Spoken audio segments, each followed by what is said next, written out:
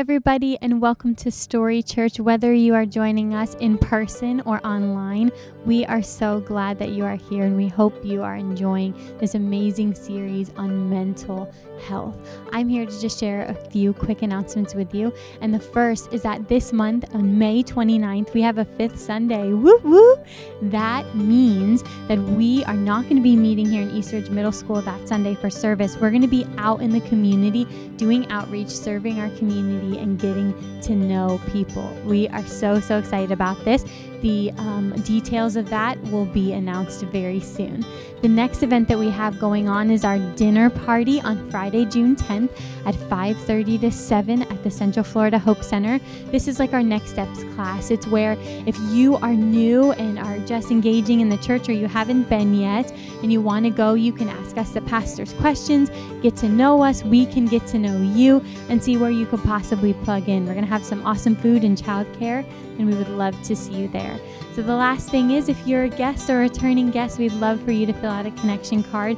We just want to say thank you, send you a gift in the mail, and let you know that we are so happy that you would choose to spend your Sunday with us and get to know us a little bit. We will not bother you, but we would love to just reach out and say hello. So, we hope you enjoyed the service. Have a great one. All right, all right, awesome. We're so excited about all the opportunities coming up to serve and to get to know you guys a little bit more. Um, thank you once again for coming. I have the privilege of inviting today. We have been in our um, Out of the Cave series, which has been a series this whole month. It is Mental Health Awareness Month. We have been in a series about mental health. What does the Bible say about mental health? What are the things that we should and shouldn't do? What is recommended? And so um, I'm so excited that this message is called Dream Again. And I'll go ahead and invite up uh, my father, actually, is going to be preaching for the first time in Story Church. Woo! So we're super excited. He's going to be sharing um, from an awesome, awesome place of where he's at, and he's going to be uh, real with you guys. And I'm super excited and blessed that this is happening. And uh, we hope you take some notes, get some awesome stuff out of the service. On the back of that bulletin, also, that was in your chair, is a place for notes if you like taking notes. Um, and we are just so thankful that you would join us. And uh, yeah, awesome. Thank you. Good morning, Story Church. How you guys doing this morning? Thank you, Nick. This this right here is the most dangerous 10 feet in church. And I was really hoping somebody was going to come up and carry that for me. You got so much stuff on my mind and uh, concentrating on on all these notes and the, the, ideas and thoughts that I want to get out. And um, I didn't want to be concentrating and fall off the stage there. So thank you, Nick. Where'd you go? Thank you. Appreciate you, brother. So, um, you know, why this guy, right? Why me? Why am I doing this, this uh, last two sections on mental health? Man, well, we're going to talk about that in just a second, but let's pray. Everybody, uh, would you bow your head with me? Thank you, Father, for this opportunity to, to stand in front of this group of people this morning, God and most of all, to be a, a, willing, used vessel by your Holy Spirit to communicate what you want communicated this morning um, in this body. And Lord, help me to to uh, to just grow as I'm doing this, Father. And uh, you know what this subject means to me and, and everything that I'm going through right now. I trust you for all of it, God. And that's what we want to do. We want to just open our hands and, and let you have your will and your way in this place this morning. God, help me to decrease because I want to see you increase. Amen. Well, you know, the word says that, um, that in our weakness, he is made strong. So um, I was kind of excited when Spencer asked me to, excited and kind of nervous in the same way because um, I myself am on a mental health journey right now. And uh, we're going to talk about that a little bit. But, um, you know, I trust God to be strong in this situation because a lot of this stuff I'm still learning. But there are some lessons that, that my wife Penny and I have learned over the years. And um, that will will share my testimony with you a little bit. But how about, you know, the pastor always asks these questions and from the from the pulpit and like you know um, have you ever experienced this in your life? Raise your hand and this and this that and the other thing and you're like i don't know if i raise my hand? That's embarrassing you know to expose myself. I'll i'll pose this question to you. In the in the arena of mental health i'm talking about depression i'm talking about anxiety i'm talking about um, schizophrenia, multiple personality disorder, any realm of, of mental health that you can think of. How many people in here do not know someone who's been affected or them themselves by mental health? There isn't anybody. Chris, don't tell me you don't know anxiety. no, seriously. I mean, all of us, right? You know how many how many messages I've heard relating to mental health from the pulpit? I was thinking about it the last couple weeks. Five. Penny and I have been hard at it for almost three decades now. And I've had heard five messages on mental health. Three of them were from Pastor Spencer. Right? look at where we're at right now in the world. I mean, the, we're in like a mental health crisis almost. Kids, younger and younger, reporting with, with depression and, and whatnot. And it's a, it's a subject that, that we have to deal with from the pulpit, that we need to, to confront and make sure our people are healthy. I did a cursory search. You might be thinking, well, you know, what Bible doesn't say anything about mental health, does it?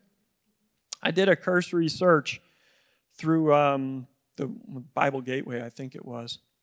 And I got 14 pages of scripture directly relating to mental health. Does God care about mental health? You better Hong Kong believe it.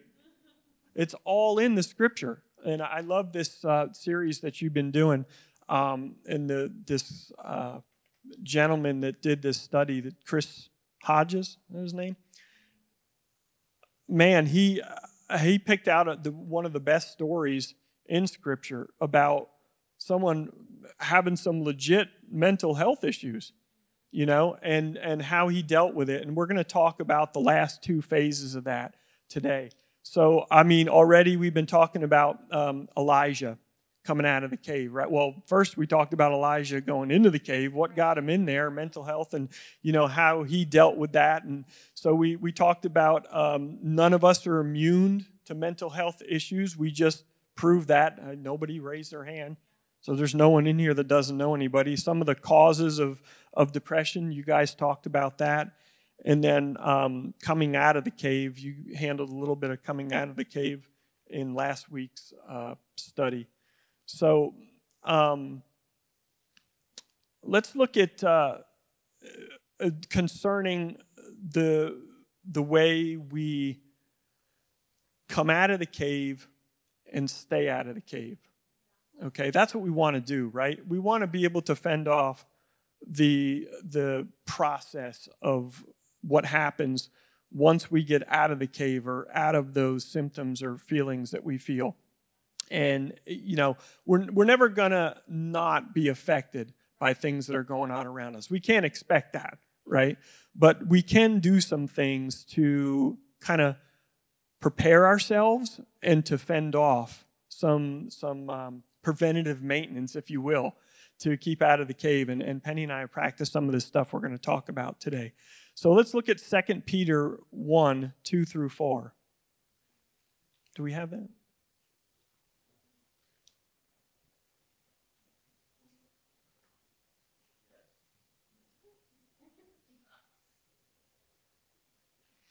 So it says, Grace and peace be yours in the abundance through the knowledge of God and Jesus our Lord. Do you have the next scripture or no? The Lord said to him, Oop, that's First Kings now. That's not the right one. All right, so that Second Peter 1, second, or 2 and 4 goes on to say that God has given us all things pertaining to life and godliness in the knowledge of him that calls us. He doesn't, he doesn't say in that scripture that most he give most stuff, right? He's given us all things pertaining to life and godliness. So, you know, we don't want to get caught up thinking that, you know, oh, well, maybe God doesn't know about this area or doesn't know about that area. That's not the truth in the kingdom. God is concerned and He's given us the tools in all things for life and godliness. He wants us to be prepared for anything that we come up against.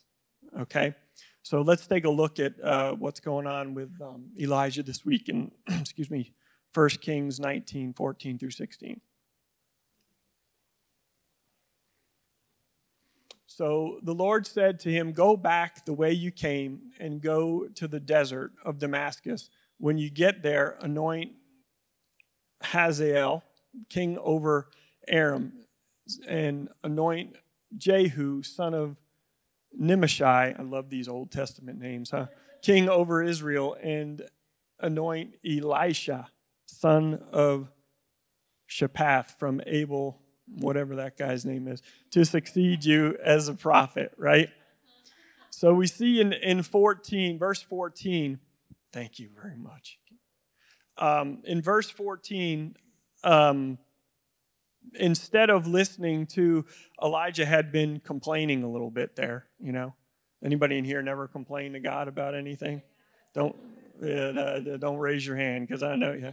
I, I I have myself, but I love God's response to Elijah in that moment. You know, he didn't like come down on Elijah for complaining and railing with him and running and hiding in the cave. He gave him purpose. We talked about purpose last week. He immediately gave him something to do. Didn't even acknowledge his complaining and whining that he was doing. He gave him a job to do, right? So God didn't address Elijah's issue as he saw them. God told Elijah, Go back to where you came from and remember your oath to me. Renew your calling, right? So a lot of times in, in our walk, we get so caught up in what's going on, we forget about what God originally called us to do. And I think it's important that we, we turn our, our direction towards God's original purpose for our lives when we're struggling with stuff. And I think a lot of times that's going to be something that kind of keeps us from um, getting into a situation deeper than, than we need to go, right? So Proverbs 29 18, uh, I think we got the message version there. Is that it? Yeah. Um, if people can't see what God is doing, they stumble all over themselves. But when they attend to what He reveals, they're most blessed right? So that talks about um,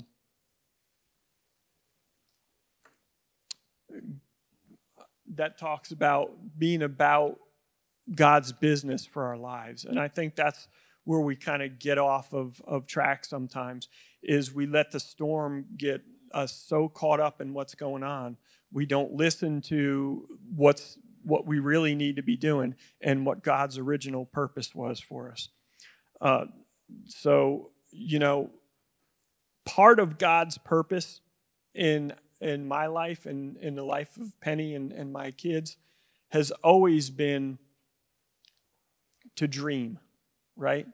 To dream, Spencer talked last week, to dream is to be healthy. It's a, it's a, it's a very healthy mental game to look to what's in the future. And I, you know, it's it's good that that we have dreams on stuff that we really want to do, but really for Penny and I, our dreams are kingdom business. You know, so even the, the, the things that we like to do and have fun doing, we're we have this back and forth with our pastor at our church about camping. You know, he's like, "Why would anybody buy a camper and, and go all over the country?" Well, that's that's one of our dreams. We're going to talk about that a little bit later on. But it's it's really interesting to see. He knows darn well that whatever we do, it's about kingdom business, and we'll we find ways to to infuse kingdom business into anything we do. And so that's going to be a part of of uh, us in the future down the road. So uh, it's healthy to have dreams, right? It's healthy to be in, in in in a with a vision. You you got to have a vision in front of you. You know the word talks about without vision, a man will perish. You know God says it's vitally important that we have a vision for our lives and a focus because listen, I hate to break this to you if you don't already know it. We're promised trials. Okay? We're promised trials, and it, it, it's coming. It just depends on how we're going to handle it. I didn't know this uh, before I went into the military. I, I wasn't saved.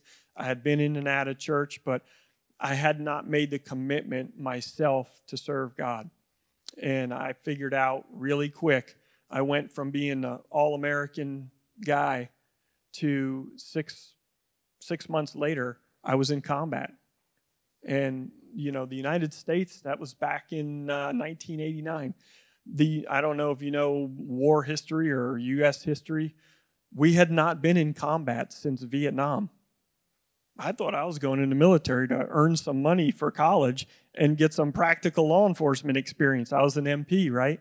So, and I mean, my recruiter didn't didn't pull the wool over my eyes or anything like that. They made sure that we understood um, what was coming, and the things were heating up. So we got a, a, a, pretty good sense of it. So, you know, we went. I I went to basic and AIT, and a month later, after AIT, I was in combat, and um, did the things you do in combat.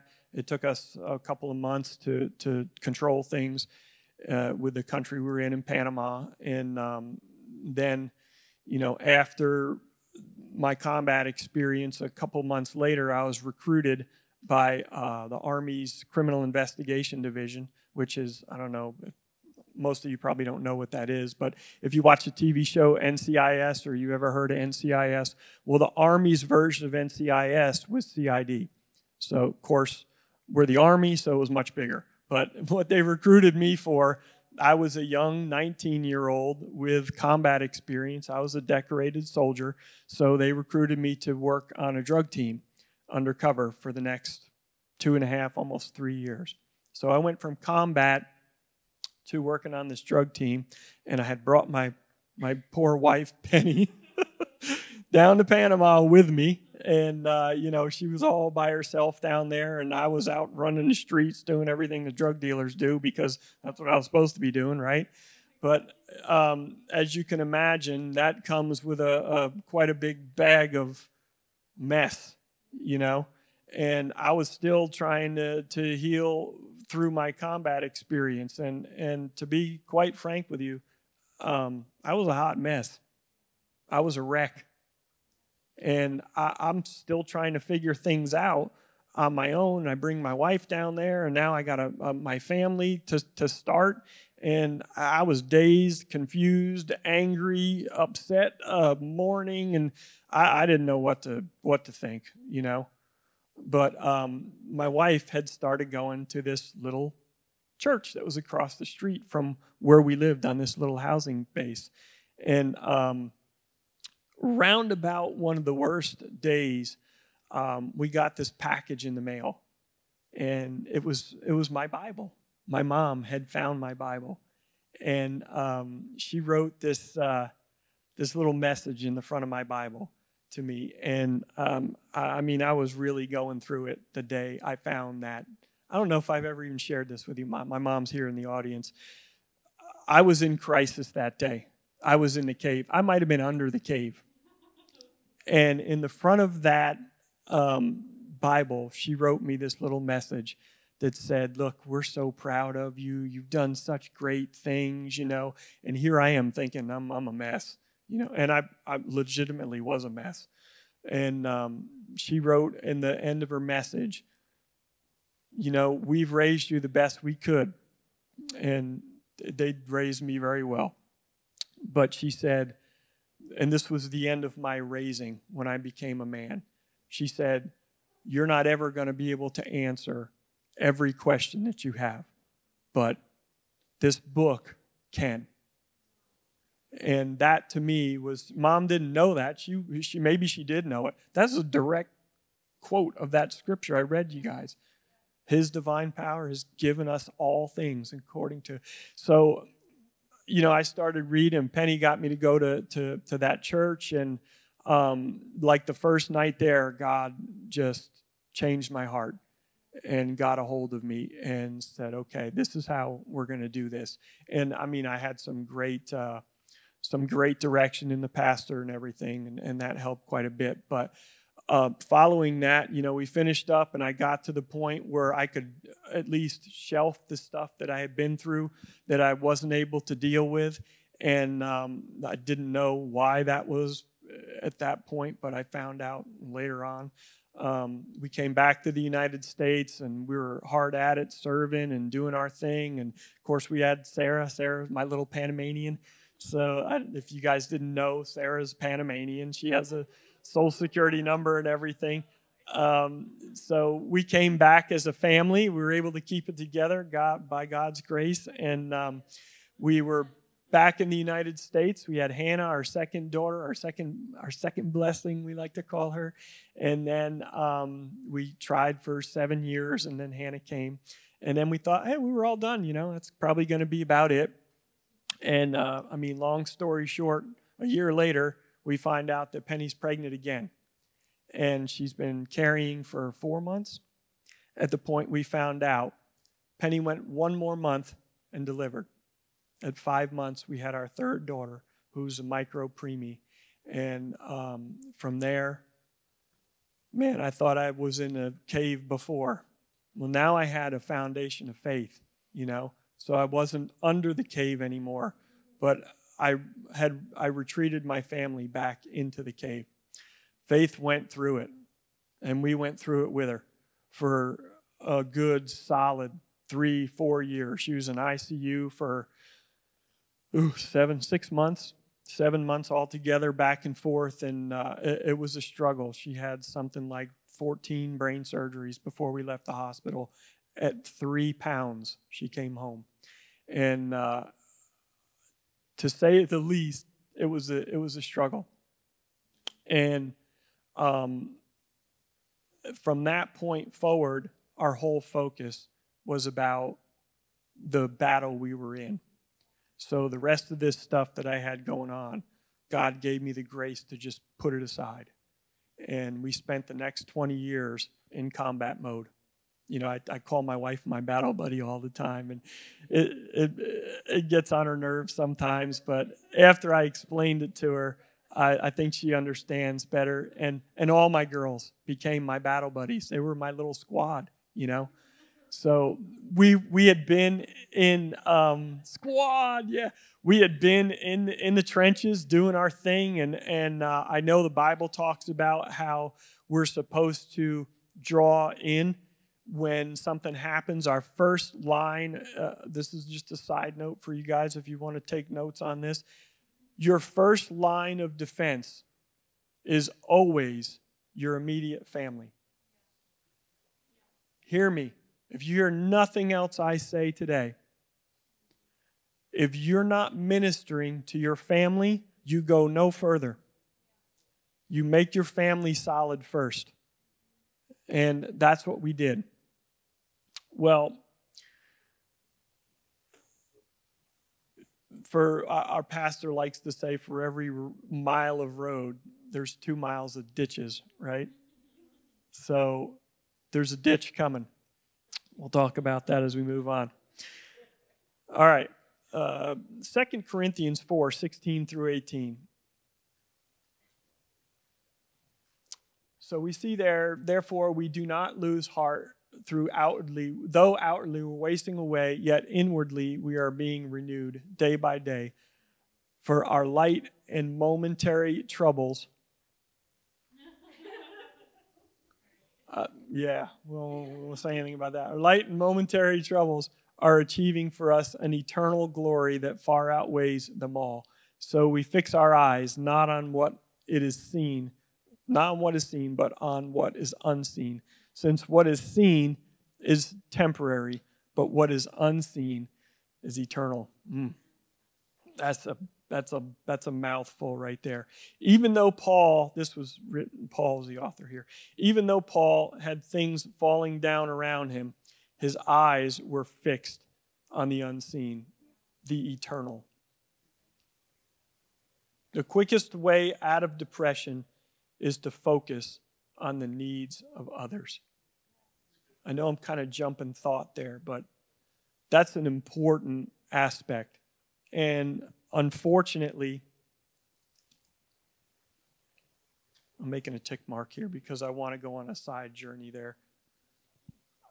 I had, we talked about the mile of road and two miles of ditches, right? I had drawn my family back to where um,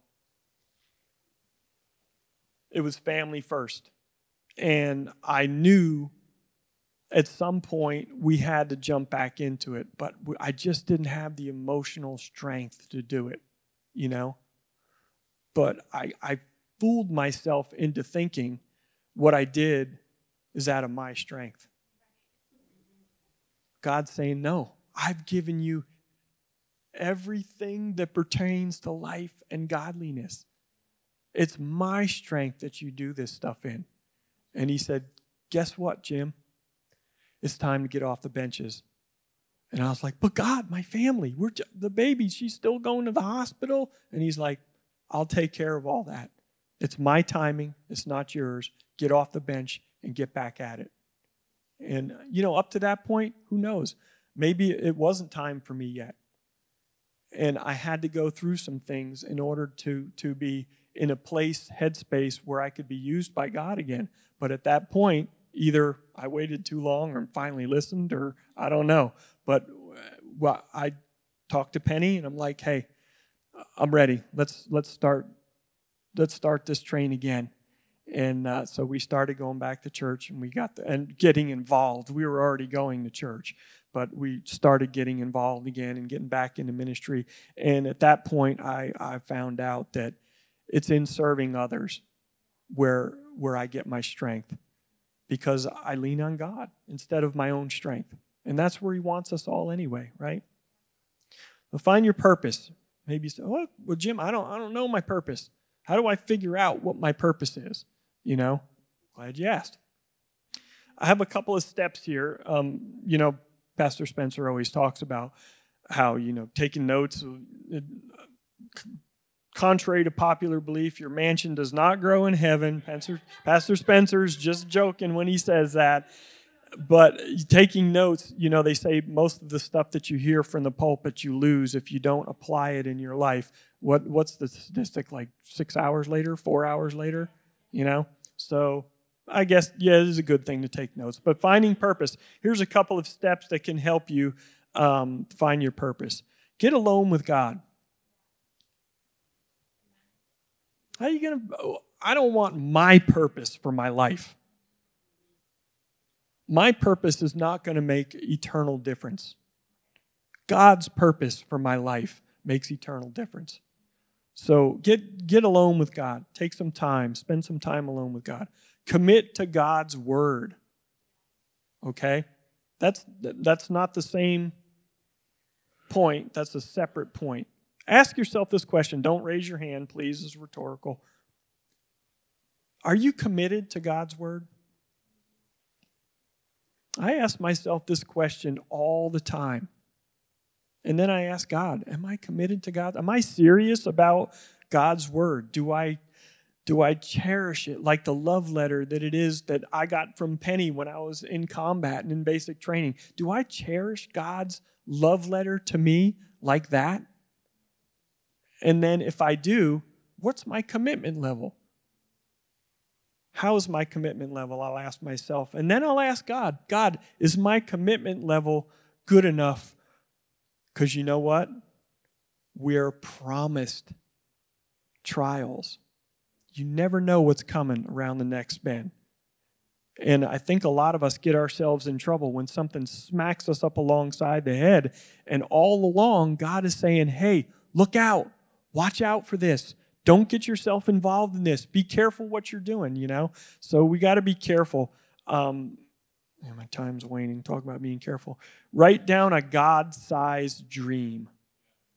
Right? Rich, you got my God sized dream? Next slide. I may, I may get out of the screen for a second here because this is our God sized dream. Okay? For just leave that up for a minute, Rick. Rich, sorry. Um, for many, many years, uh, we were homebound. And we really couldn't do much with faith. Our daughter was uh, had severe cerebral palsy and was um, immobile, couldn't speak. You know, we G tube fed her, and um, we were in and out of the hospitals all the time, and we couldn't do much of anything with the girls. So we we adopted a divide and conquer mentality, and the whole time, you know, our, we've always loved camping. That's that's deep in our hearts. For me, it's good headspace for me. There's not a lot of people around. I can just go out there and think about nothing. And we we uh, it like that's possible. But we um, all the ladies are like thinking nothing. What are you talking about? Thinking nothing. All the guys are going, yeah. So, but that was that's been our our our. Uh, our dream, our God sized dream, you know. 10 years ago, we shared, Penny and I shared this dream, but neither one of us said to each other, This is never going to happen. We got over $10 million in medical expenses for our daughter. You know, I'm trying to run a family, and that's not going to happen. That rig, that setup right there, today belongs to us. Not only does this setup belong to us? I got a phone call a couple of weeks ago from the pastor that we got saved under down in Panama, who now has a ministry nationwide. And guess what he does? He ministers to veterans with PTSD. And they go from church to church and set up care groups. Check this out, Rich. They set up care groups for veterans in those churches or law enforcement that have been through traumatic stuff and they minister to them. Well, that pastor was in the military. He was an Air Force um, police officer, and the, the other guy that, that is in the ministry with him is also was also a veteran, but neither one of them have combat experience or been diagnosed with PTSD. If I haven't mentioned that, um, two, three months ago, I was diagnosed with PTSD, believe it or not, major depressive disorder. So, but, but that's a diagnosis. That is not who I am. My, who I am is who God says I am. So you got to make that distinction. I know, I look around this room and I, I know a lot of people that are in here. There's a lot of scary diagnosis. My mom had breast cancer. My mom is not breast cancer. Guess what? She's cancer free now, been cancer free for quite some time now. She didn't assume that as her identity. We have to make a distinction between diagnoses and identity. Diagnoses is what the people practicing medicine tell us. Identity is what God says about us in His Word. Okay? So make that distinction. Don't get caught up in di- uh, diagnosis. Okay?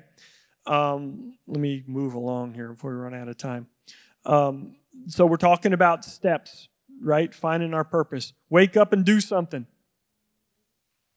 We had a coach. I played football for seven years. I played line for most of that time, and then I started playing linebacker.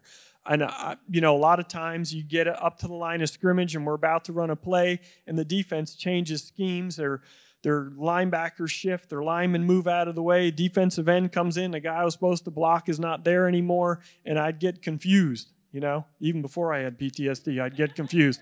And I'm like, I don't know who to hit. So my coach grabs me by the back of my pants in practice one day, and he picks me up out of my, my stance, and he says, Bowder, if you don't know to, who to hit, just hit somebody. Hit the closest guy. Listen, that's meant to be a joke. But if you find yourself in the cave and you don't know what to do, do something. Find someone to serve. I cannot tell you how many people my wife and I and Hannah back there, oh my gosh. Hannah was an evangelist before she was one. She ministered to more people in the NICU at Arnold Palmer than Penny and I together have ministered to. I'm talking about people that are under under the cave, you know? So be on the lookout. I know it's hard. Trust me, I've been there. I know how difficult it is to be used by God when you're going through something. But let me tell you the secret to what's going on. We already talked about it. In our weakness, He is made strong. People are watching when you're going through stuff, especially if you're a believer. Oh, are they going to handle this? Let's see what they're going to do now. You know, you know how people can be, right? You step out and reach out and minister to somebody when you're going through something, that's going to have eternal ramifications. I guarantee it. We've seen it a hundred times. Ministering to people that this this one young girl was was dying. She knew she was going to be passing away within what a month or so, and her parents were kind of in a huddle in another room trying to figure out how they were going to tell her she was about to die. And we we met up with her and she looked kind of sad sadder than she had the last couple of days that we saw her. We're like you okay? Can we pray for you about something? What's going on? She's like well you know she's got the bandana around no hair. She's like well i'm about to die. And my parents are in there trying to figure out how to tell me. And i'm like Whew. okay god i know this is not for no reason so how can we minister this girl and we asked her, Can we pray for you? And she's like, Yeah, well, what can we pray about? I want them, this girl, man, I want them to have peace and know that I'm going to be okay. I know I'm going to be okay, but I want them to know I'm going to be okay. How many of you would step out and minister to that person on the street? Eh, don't raise your hands, but that was a place, a God ordained position for us to be in. And of course, we seized it. And God taught me that lesson that day. Always be on the lookout to do something. That's purpose. Okay? All right, let's whip through this. You got my picture? That's gone. So, you know, we had God sized dreams. Um, so that covers the, the the uh, dream again portion. And the next the next section, the next point we want to get to is we need each other. Okay? That's important, guys. We gotta we gotta realize that. 1 Kings 19, 19. As soon as Elijah left the cave, you'll notice that God gives him a couple of jobs to do, and all those jobs surrounded people and things that, that he needed to get with them to accomplish.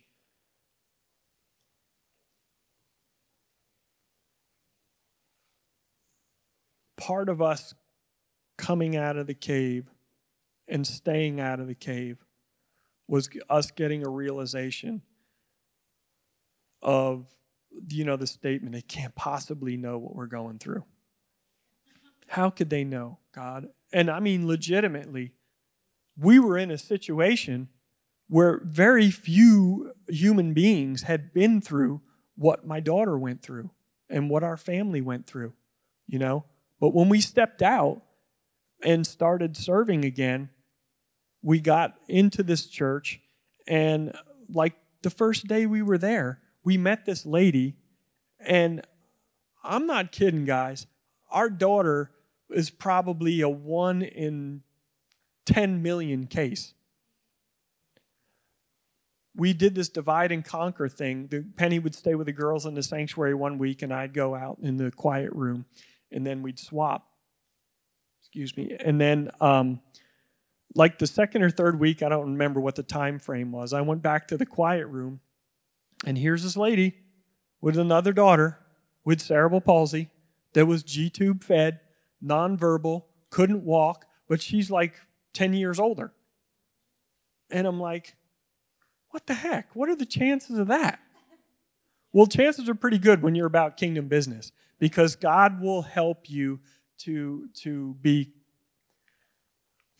He will enable you to get through what you need to, whatever way is possible for Him. And that lady was another willing vessel to, to be able to be used by God. Okay? So watch out for the they can't possibly know what I'm going through theory. Don't, don't say that. Uh, Ecclesiastes 4 8 through 12.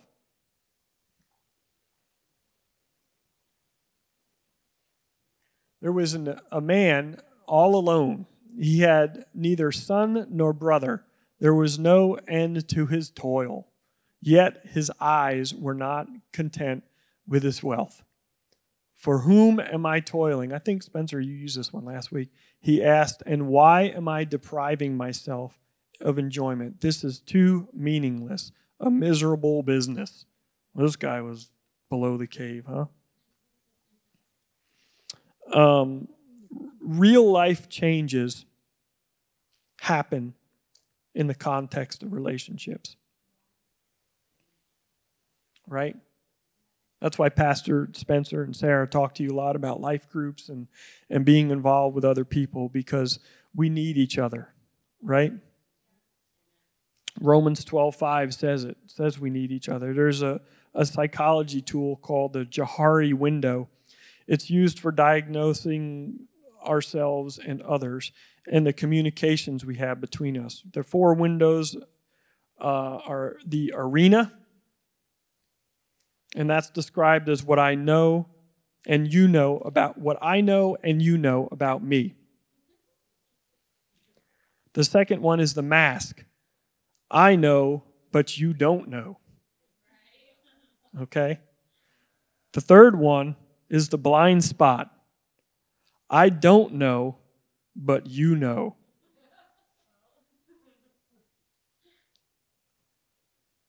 Let me ask you this question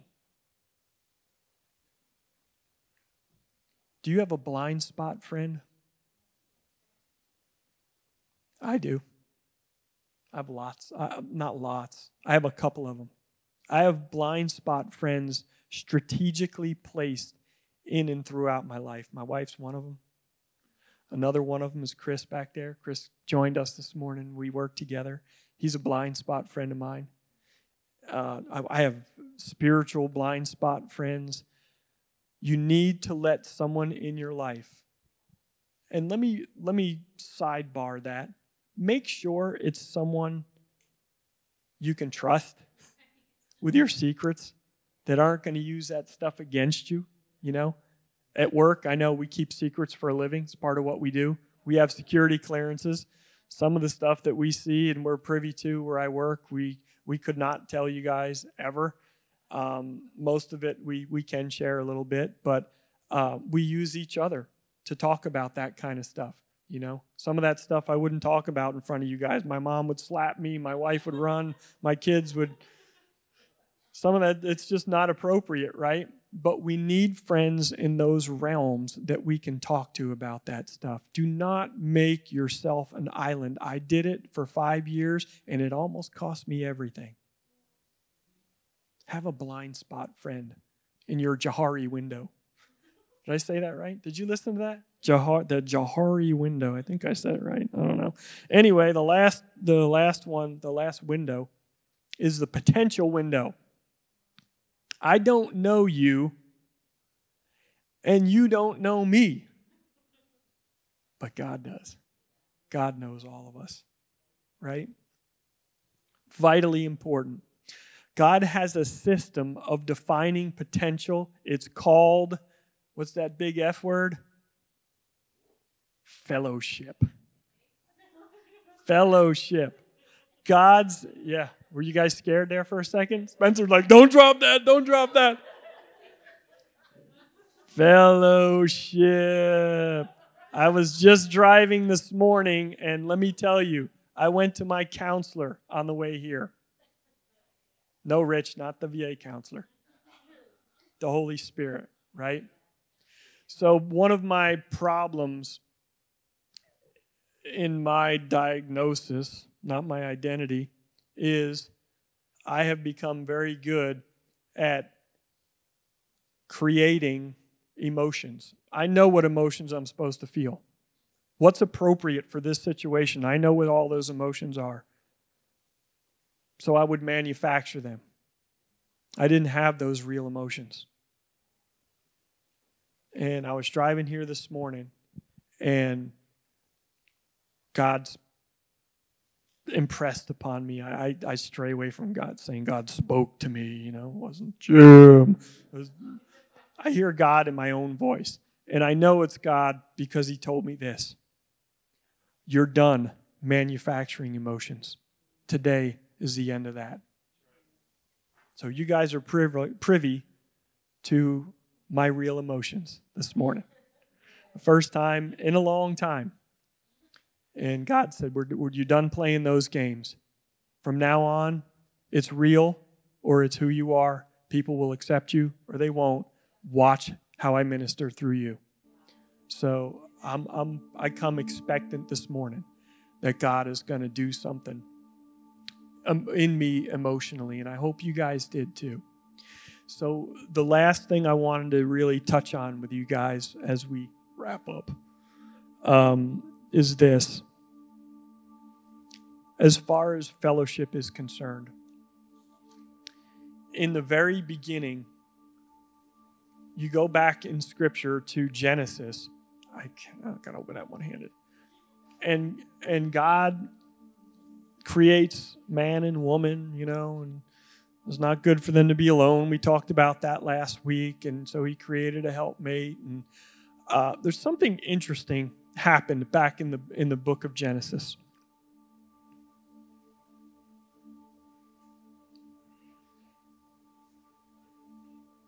God in Genesis 3, verse 8 is, is the scripture I'm talking about. When um, Adam and Eve were in the garden and they had sinned, and they heard God walking in the garden. I looked that scripture up, walking. I'd always believed this to be true, and I probably heard it in a, in a message someplace. But because I knew I was going to be sharing on it, I looked at that word walking. And let me let me tell you how that translates from the original um, text. The word walking translates or is better defined as repetitive or habitual movement. So the the original text said that God's walking in the garden was his habit to come down and and basically chill with Adam and Eve in the cool of the day and to have fellowship with them, right? So we're made in the likeness and image of God, correct? If we're made in the likeness and image of God, and it's His habitual nature to come and walk with us and have fellowship, who do we think we're fooling to think we can we can get through this mess, this world alone? and without having fellowship. So, fellowship becomes vitally important because we're made in God's image, and that's that was His idea in, from the very beginning in Genesis. So, please, fellowship will go a long way to help you keep out of the cave. Okay? So that's what I got. Maybe, you know, you're here today and, and you're thinking, well, you know, I don't even know about the cave. I, I, God is is the God of the Old Testament and New Testament, but I mean, I don't I don't have a personal relationship with Him. I don't I don't even get what that is. So we're gonna I'm gonna give you the opportunity here in a second to to make that connection with God, because listen, again, like I said, we're promised trials in this world, and I wouldn't want anybody in this room to have to confront any of those trials without having fellowship with our Creator. So we're going to go ahead and, and pray. And uh, now, with every eye closed into place, we're going to just, um, and, and online as well. Father, we just just love you, and I hope some of this message struck clear with some someone in here today or someone online that's going to watch this later on down the road. But Lord, even before they have the opportunity to get in a cave and being about your business, we want to make sure that everyone in here has had the opportunity to believe on you. So now as I as I look around, every head bowed and every eye closed, if if you haven't ever made that initial commitment, just shoot your hand up real quick.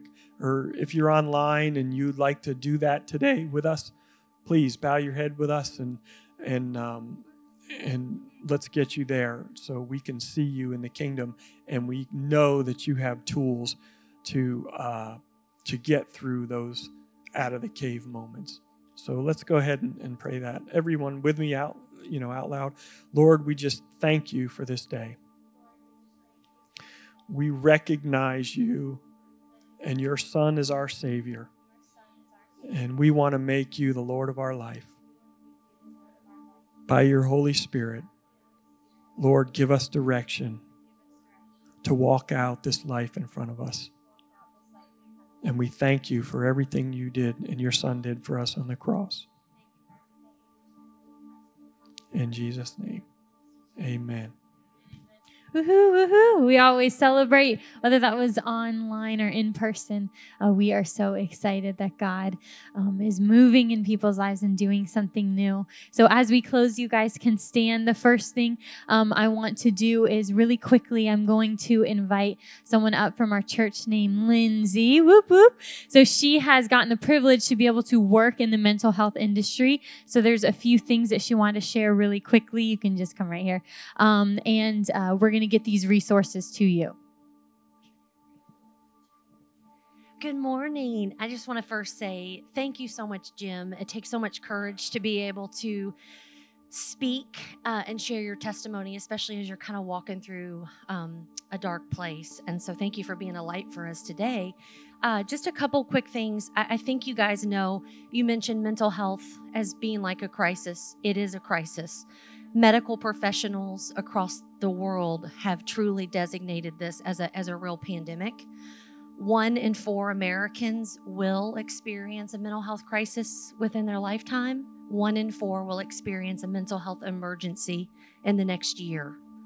So we're all, like you said, you know, no one raised their hand because we're all touched by this. Um, there are resources out there. I know that and I can speak to this, you know, leaning on on our, our Lord and Savior Jesus um, does more than anything else can. But sometimes we do have a chemical imbalance, and sometimes, you know, God has placed experts and services for us so that we can get help, um, so that we don't make a decision that is permanent. Um, suicide is the second leading cause of death for those ages 10 to 34 years old. 10 to 34, second leading cause of death in the world. Um, so there's a couple resources out there. The first is you can text 24 7, 365. You can text the numbers 741 741, either the word talk or the word home. You will get a confidential, licensed mental health professional who will text you there are a lot of people, especially our younger generation, who do not want to pick up the phone and express what they're feeling. You can text 741 741 the word home or talk, and you will get a licensed professional who will provide you confidential support. They have been, they, as in the National Institute on Mental Health, has been trying to pass a true crisis line like 911, but is 100% for mental health and effective July 1st, the number 811 will be the national crisis line for mental health. 811 all across the United States um, and eventually all across the globe. Um, the last thing I'll tell you is there's local resources, and it's the largest organization in the world for mental health called NAMI. That's National Alliance for Mental Illness. NAMI Greater Orlando uh, serves our uh, county as well. And so you can actually go to namigo.org. Uh, you can find every single thing that they do is uh, volunteers who either A, have a mental health condition or B, have a loved one with a mental health condition. You can go to their website and you can get um, free education. You can get free support groups for yourself. They have classes called Family to Family, how to support a loved one going through mental illness. My mom has a severe mental illness. My grandmother and I took this class, and I, I am a clinician in mental health. And this class for me was life changing because it allowed me to just go in as, as the daughter and not as the expert. And I got to share this with my grandma. There's classes for those of you who may experience depression, anxiety, etc. And the last thing I'll just say is that is normal. He has a boot on his foot. Nobody is staring at Pastor Spencer saying, oh my gosh, he has a boot on his foot. That's stigmatizing, right? So you are not alone. It is normal. What you've experienced, we've all experienced different versions and we all have different perceptions of trauma, but everybody, you just need to treat every individual in your life like they've experienced some level of trauma. And um, like I said, if there's ever anything you need or anything you can do, I'm happy to get you connected with the right people. Um, but I can just stand here today and say, I started out as a daughter of someone with mental illness. I have struggled with mental illness. I have dedicated my career to mental health, and nothing has given me more peace, nothing, than to accept Jesus as my Lord and Savior in in um, as a complement to everything else I've done. But it's given me the courage to just get up every day and just to keep pushing forward and to not be afraid to speak on it. So, thank you for allowing me to say something. Amen. Woohoo. Awesome. So powerful.